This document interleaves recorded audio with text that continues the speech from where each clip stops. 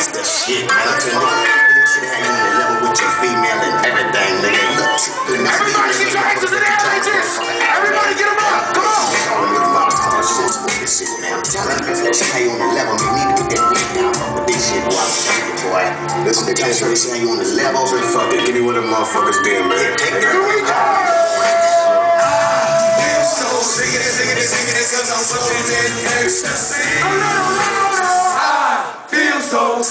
Sing it, sing it, sing it, cause I'm floating in ecstasy. I can't hear y'all. I feel so. Sing it, sing it, cause I'm floating in ecstasy. Come on, come on. I feel so. Sing it, sing it, cause I'm floating in ecstasy.